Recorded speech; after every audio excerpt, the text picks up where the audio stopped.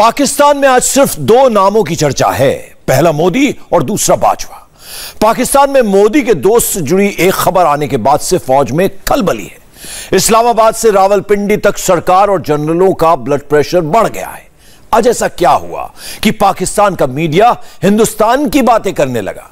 पाकिस्तानियों ने बार बार मोदी से अपने वज़ीर की तुलना क्यों की? इंडिया की ग्लोबल पावर का ज़िक्र क्यों किया? इन सभी सवालों को हमने आज की स्पेशल रिपोर्ट में डिकोड किया है। आपका जो आर्मी चीफ है जो इसको हम कहते हैं पाकिस्तान मोस्ट पावरफुल पर्सन ठीक है जी? वो अमेरिका से रिक्वेस्ट कर ले पाकिस्तान की जो आवाज़ किसी जमाने में बहुत दूर तक जाया करती थी। आपने कहा कि आवाज़ बहुत दूर तक जाती थी। इस वक्त पाकिस्तान की चीखें बहुत दूर तक जब सुनाई सुनाई दे रही हैं। मोदी से बराबरी का पाकिस्तानी सपना चकना चूर हो गया। पाकिस्तानियों ने ठहाका लगाया। वज़ीर आज़म फूट फूट कर रोया। इस्लामाबाद में हल्ला है। शहबाज से ना हो पाया। तो उसने जनरल को कटोरा लेकर अमेरिका के सामने खड़ा कर दिया। पाकिस्तान का खजाना खाली है। मुल्क में खलबली है। अपने आर्मी चीफ और वज़ीर आज़म की बेजती देखकर पाकिस्तानी बोलने लगे। मोदी से कुछ तो सीखो शहबाज। मोदी जी बांग्लादेश जाते हैं तो वहाँ पे ग्रांटें देकर आते हैं एड देकर आते हैं। वो हमारी तरह नहीं कि हम जहाँ जाते हैं तो मांगने जाते हैं। लेकिन वो पैसा आईएमएफ वाले नहीं दे रहे। ठीक है ओके भी कर दिए लेकिन दे भी नहीं रहे। इतनी सी इतनी सी पाकिस्तान की पोजीशन है इतनी सी। आज पाकिस्तान से आई सबसे बड़ी खबर है जनरल बाजवा की अमेरिका से रिक्वेस्ट बाजवा ने कहा, अगर पाकिस्तान को जल्द पैसे ना मिले तो मुल्क दिवालिया हो जाएगा। बाजवा का ये बयान पाकिस्तान की सबसे बड़ी शर्मिंदगी बन गई है। दुनिया हैरान है, क्योंकि पाकिस्तान का सबसे पावरफुल शख्स अमेरिका से लोन की मिन्नतें कर रहा है। साढ़े छह लाख पाकिस्तानी सैनिकों का आर्मी चीफ सुपर पावर से पैसे रिलीज़ करने की अपील कर रहा है। और दुनिया की सातवीं न्यूक्लियर पावर का सेना प्रमुख हथियारों की नहीं, बल्कि कर्ज की बातें कर रहा है। जब शहबाज से ना हो पाया तो जनरल ने खुद मोर्चा संभाला। पर अब पाकिस्तान से चीखने चिल्लाने की आवाज़ें आने लगी। This is a big breaking in Pakistan right now normally इस तरह की खबरें बाहर नहीं आती, लेकिन this is a big big breaking और वो ये है कि पाकिस्तान की आर्मी चीफ जनरल बाजवा ने रिक्वेस्ट की है अमेरिकन एडमिनिस्ट्रेशन जिसमें व्हाइट हाउस और ट्रेजरी डिपार्टमेंट है अमेरिका का कि वो जो आईएमएफ ने पाकिस्तान को 1.2 बिलियन डॉलर की सप्लाई करनी है, उसको लोन प्रोग्राम को रिज्यूम करें।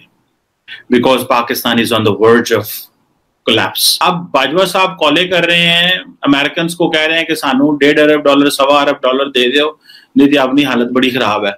और दूसरी तरफ़ जो है, वो हम अमेरिका को गालियाँ निकाल रहे हैं। पाकिस्तान की सरकार को अमेरिका ने बीच चौराहे खड़ा करके शर्मिंदा कर दिया। एक एक अरब डॉलर के लिए पाकिस्तान की बेचैनी देखकर 22 करोड़ लोग हैरान हैं। बाजवा की एंट्री से एक बात क्लियर है कि पाकिस्तान बैंक होने के बहुत करीब है और शहबाज सरकार ने मुल्क के हालात ठीक होने का जो दावा किया था, वो सौ फ़ीसदी झूठा है। पाकिस्तानी अपने मुल्क की हैसियत देखकर परेशान है। इस्लामाबाद की इकोनॉमी आईसीयू में है। पैसों के लिए एक हाथ का इंतज़ार है। ये देखकर पाकिस्तानी शहबाज को जमकर गालियाँ दे रहे हैं और मोदी के लिए ताली बजा रहे हैं। उस मजहबी लेंस को छोड़कर देखें तो किस स्पीड के साथ इंडियन इकोनॉमी ने तरक्की की किस तरीके, मेरा मतलब श्रीलंका को इस वक्त सबसे ज़्यादा सपोर्ट जा रही है तो भारत की तरफ़ से जा रही है। 500 बिलियन मेरा ख्याल है, इससे भी ज़्यादा वो दे चुके हैं। और कई ममालिक में, मोदी जी बांग्लादेश जाते हैं तो वहाँ पे ग्रांटें देकर आते हैं एड देकर आते हैं। वो हमारी तरह नहीं कि हम जहाँ जाते हैं तो मांगने जाते हैं। तो उनकी इकानमी और दूसरे और इस वक्त जिस तरीके से खूबसूरती के साथ देखे, मैं हैरान हो गया हूँ कि एस फोर हंड्रेड भी लिया उन्होंने रशिया से और तेल भी ले रहे हैं और साथ अमेरिका को भी बेवकूफ़ बना रहे हैं। देखिए किस खूबसूरती के साथ। और मिडल ईस्ट को भी कट्ठा जाए, कश्मीर में उन्होंने इन्वेस्टमेंट करा। एक हफ़्ते में पाकिस्तान पर आई ये दूसरी मुसीबत है। पिछले हफ़्ते इंटरनेशनल फंडिंग एजेंसी आईएमएफ ने लोन के लिए पाकिस्तान के सामने नई शर्त रख दी। सऊदी अरब से जुड़ी एक खबर ने इस्लामाबाद और रावलपिंडी का ब्लड प्रेशर बढ़ा दिया। आईएमएफ चाहता है कि सऊदी अरब भी पाकिस्तान को 4 बिलियन डॉलर देने की कमिटमेंट करे। आईएमएफ खुद सिर्फ़ 1.2 बिलियन डॉलर पाकिस्तान को देगा, लेकिन सऊदी अरब से करीब चार गुना ज़्यादा कमिटमेंट चाहता है। लेकिन सच्चाई यह है कि पाकिस्तान की कंगाली देखकर कोई मुल्क इतना बड़ा रिस्क नहीं लेना चाहता। मतलब हमने कभी लास्ट सेवेंटी फाइव ईयर्स में कभी हमने सोचा कि मतलब खुद भी हमें कुछ करना है या हमेशा से कभी वॉशिंगटन की तरफ़ देखेंगे, कभी रियाद की तरफ़, कभी बीजिंग की तरफ़, कभी दोहा की तरफ़, कभी किसकी तरफ़ देखेंगे, लेकिन अपने अगर नहीं देखेंगे तो अपने गिरबान में नहीं झांकेंगे शायद ये मेन रीजन है इस सिचुएशन में पहुँचने की। कि ज़ाहिर है, आप भी अगर कोई आपसे कर्जा मांगेगा तो उसी को कर्जा देंगे जिसके पास कोई जॉब होगी या जिसको आप देखेंगे कि यार ये कल को मेरे पैसे वापस भी कर सकता है या नहीं, वरना आप भी कोई बहाना बना देंगे। नई खबर ये आ रही है कि आईएमएफ कहता है, मैं तो केटेकर्स के साथ भी बात करना चलो शुक्र है उसके बाद आईएमएफ एक और बात कर दी मैं अभी डन नहीं करूँगा, वो तो अगले महीने जाके हम डन करेंगे। मगर उससे पहले हमें ये गारंटी दे कि सऊदी अरेबिया से चार अरब डॉलर आ। वो सऊदी अरेबिया से बात करते वो कहते पहले ये आईएमएफ से आए एक डेढ़ एक one point one one point two billion जो आने फिर हम भी दे देंगे। तो ये जो सारा पहले आप पहले आप जो हो रहा है ये तो बहुत खतरनाक सिचुएशन है। और ये सारे का सारा बोझ जो है ये नून लीग को शबाज शरीफ और मिफ्ता इसमाइल के ऊपर आएगा ये। पाकिस्तान को पैसा मिलना करीब करीब तय था पर लास्ट मोमेंट में आई इस शर्त ने इस्लामाबाद को एक एक पैसे के लिए मोहताज कर दिया। पाकिस्तानियों को लगता है कि शहबाज अनाड़ी हैं और अब जनरल की बारी। लेकिन यह भ्रम भी पिछले कुछ दिनों में टूट गया। सऊदी अरब ने हाल ही में जनरल बाजवा को एक मेडल दिया। सऊदी प्रिंस ने पाकिस्तान और सऊदी अरब के रिलेशन में बड़ा बदलाव लाने के लिए बाजवा को इज़्ज़त दी।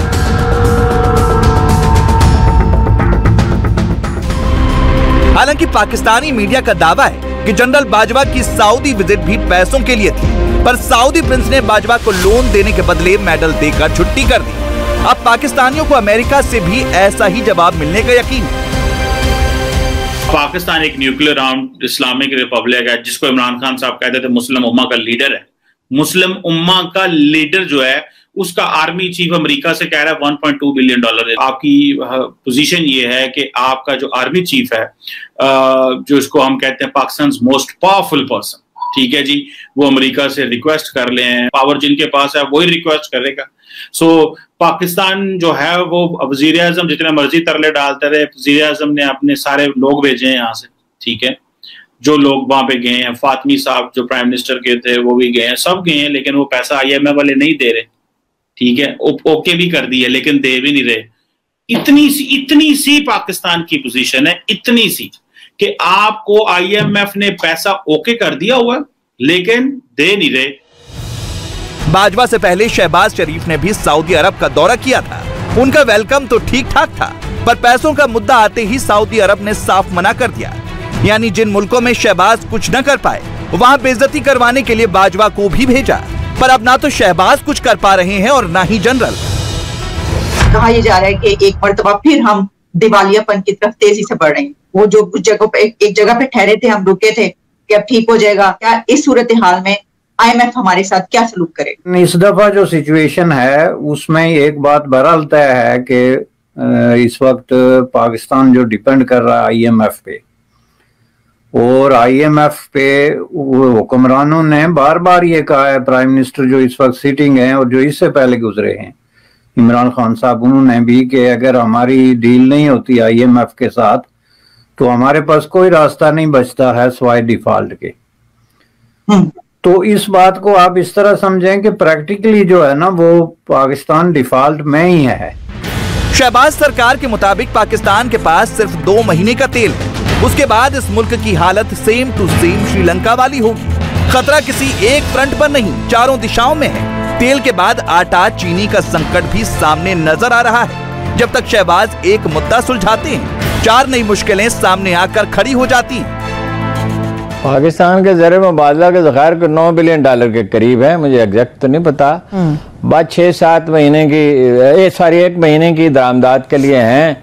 अच्छा। अगर आईएमएफ ने पैसे दे दिए वो आपको तरसा तरसा के देगा। हम्म।